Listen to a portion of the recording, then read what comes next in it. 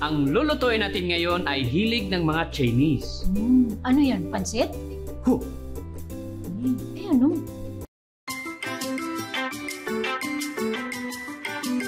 Good morning, Kuya Rice and Shine, mga kasambahay. Angkul.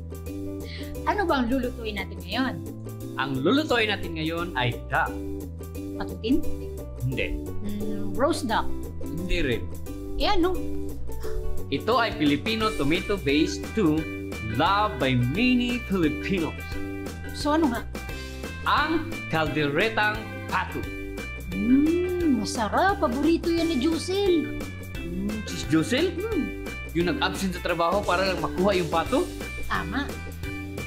Tana, magluto na ta. Let's cook it right.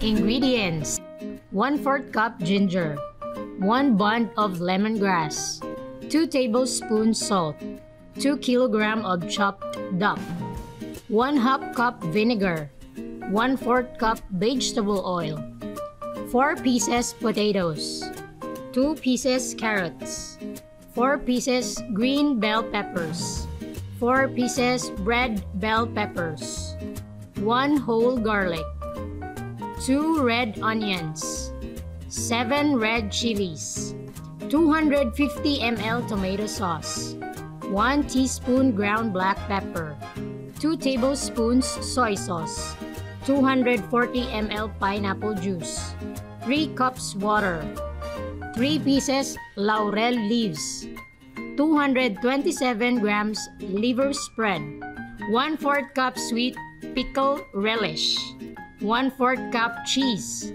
3 teaspoons chicken powder, 1 tablespoon liquid seasoning, half cup frozen green peas.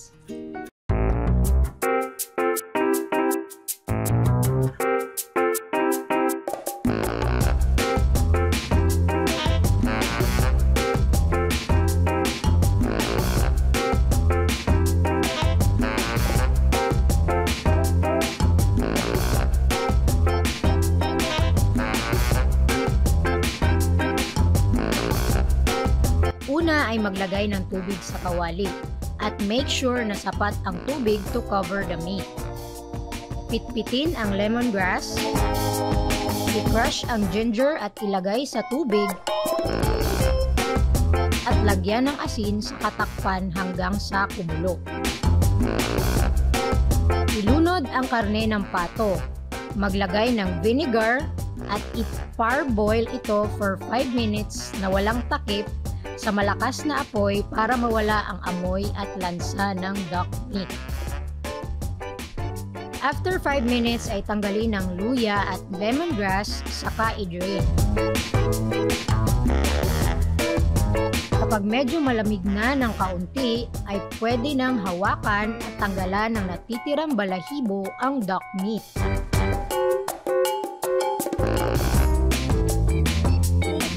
Kawali na may mainit na mantika, ay ilagay ang chopped potatoes at prituhin hanggang sa mag-light brown.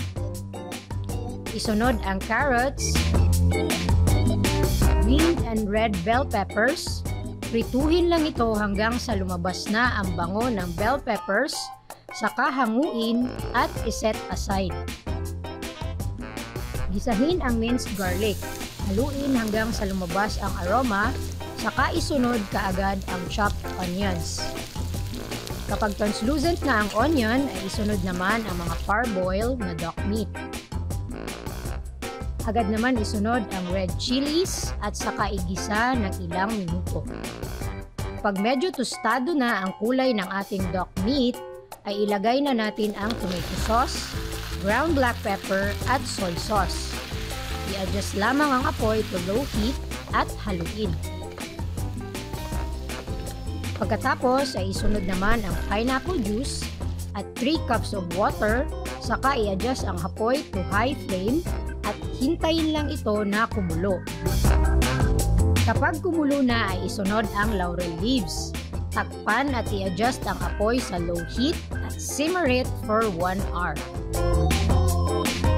After 1 hour ay check kung malambot na ba ang karne.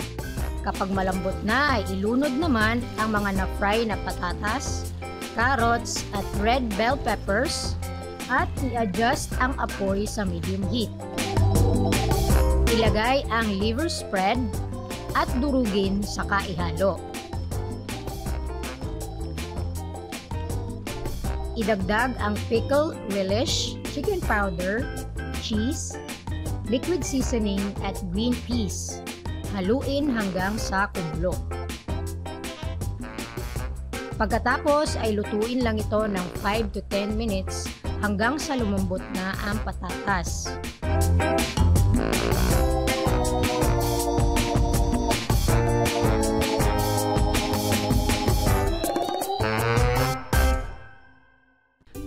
Ayan, luto na yung ating kalderetang pato. Ayan, at mga kasambahay, ang duck meat has an excellent source of protein, iron, and zinc, and healthy fats as well. Paalala rin po mga kasambahay na duck meat is also very high in cholesterol. Kaya hinay-hinay lang sa pagkain. Tara, kain tayo!